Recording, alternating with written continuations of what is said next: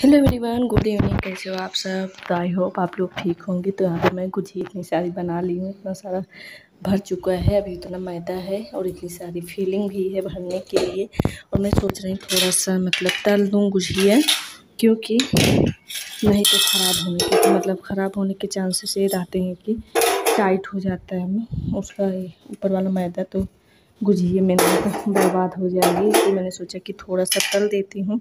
और जिसे खा भी, आज होली भी नहीं है तो कोई वो भी नहीं है कि नहीं जा तल ही दो, सब खा लें, ऐसा नहीं है। फिर भी मैं सोची कि तल दें तो आप लोग से मिलते हैं। थोड़ा गैस ऑन कर लूँ तो। मैं गुझिए तलूँगी इस फ्राई पैन में। फ्राई पैन में इसलिए तल रही हूँ कि फ्राई पैन मतलब थोड़ा सा जल भी जाता है तो भी नहीं दिखता। और स्टील की कढ़ाई और लोहे की कढ़ाई इन सब में बहुत ज़्यादा फ़र्क है। मैं लाइट ऑन कर रही थी क्योंकि रूम में बहुत ज़्यादा अंधेरा अंधेरा लग रहा था।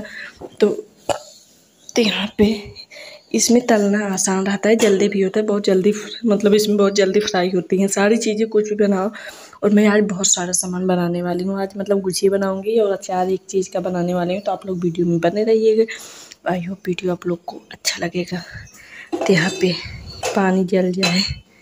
तो पैन का पानी, थोड़ा सा तेल बचा था ते डाल देती हूँ।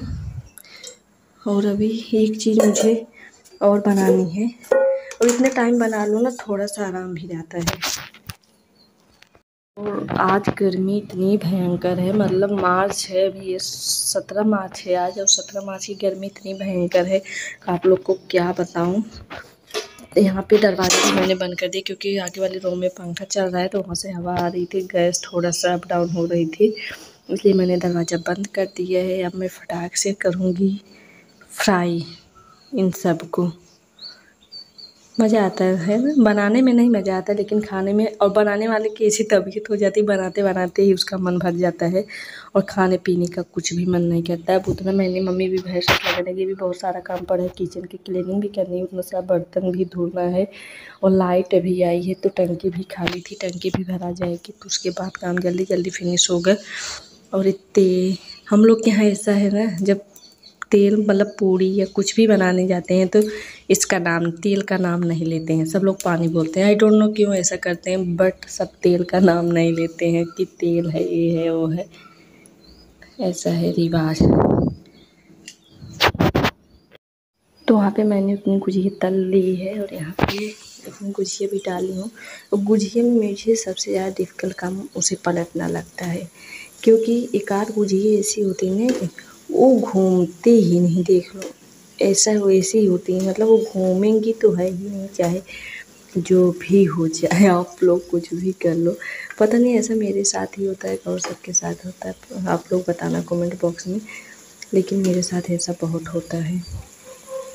देखो, मुझे कुछ एकदम लाल लाल अच्छी लगती हैं बट अब इसे निकालूँगी क्योंकि सबको लाल नहीं अच्छी लगती हैं।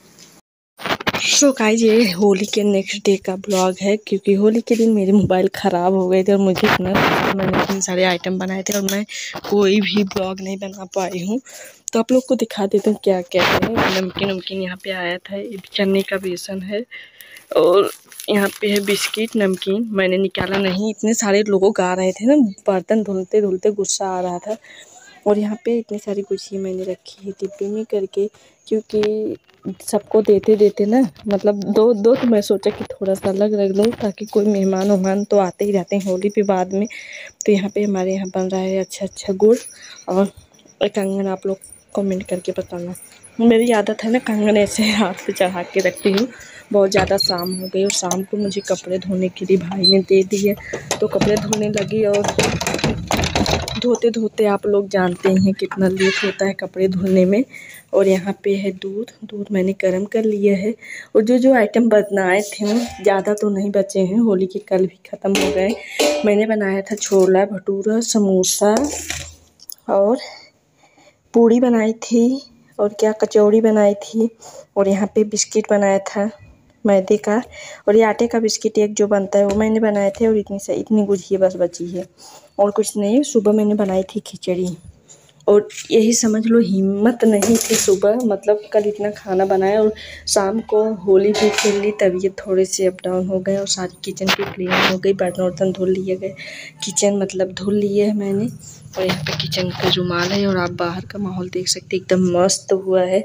तो मैं चलती हूँ अभी क्या करने। पालक काटने जाऊँगी बाहर। खेतों में पालक काटूँगी और फटाक से बनाऊँगी खाना। और इस टाइम क्या हो रहा है ना, साढ़े छः से ज़्यादा हो रहे हैं छः बत्तीस हो रहा है, लेकिन मौसम एकदम साफ़ है। मौसम एकदम साफ़ मतलब बाहर अंधेरा नहीं हुआ है अभी। शाम हो गई है, लेकिन अंधेरा नहीं हुआ है प्रॉपर तो यहाँ पे मैं जाती हूँ। पालक काटने, पालक काट के आती हूँ तो ब्लॉग कंटिन्यू करूँगी, क्योंकि रेगुलर ब्लॉगिंग करना है तो खुद तो करना ही पड़ेगा। पहले पालक काटूँगी और एक खेतों से लहसुन लेकर आऊँगी मोबाइल को लगाऊँगी चार्जर में। लेकिन कल मुझे होली के दिन इतना ज़्यादा गुस्सा है सच में मोबाइल ख़राब हो गई और इतने सारे कपड़े मैंने धुल के यहाँ पे रखे हैं। धुल के मतलब सुखा दिए और अभी इतने कपड़े होली में हो जाते हैं ना, तीन पैंट हैं और शर्ट हैं यहाँ पे।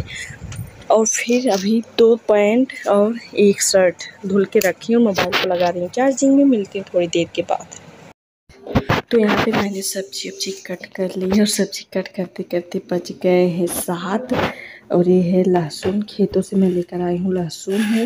ये लहसुन का जो नीचे वाला लहसुन जो पड़ता है पूटी पूजी बोलते हैं। हमारे यहाँ पोती बोलते हैं, वो है ये हरी मिर्च। यहाँ पे है पालक और वो है आलू। यहाँ पे आलू और पालक की सब्ज़ी बनेगी। तो मिलते हैं थोड़ी देर के बाद। सो गाइस आज का ब्लॉग यहीं पे ख़त्म करेंगे। आई होप आपको ब्लॉग अच्छा लगेगा, लगा होगा, पता नहीं कौन कौन यहाँ तक। अच्छा लास्ट तक ब्लॉग कौन कौन देखा प्लीज़ कमेंट बॉक्स में बताना, मुझे जानना है। तो आज का ब्लॉग यहीं पे ख़त्म करेंगे। मिलेंगे नेक्स्ट ब्लॉग में। तब तक के लिए बाय बाय टेक केयर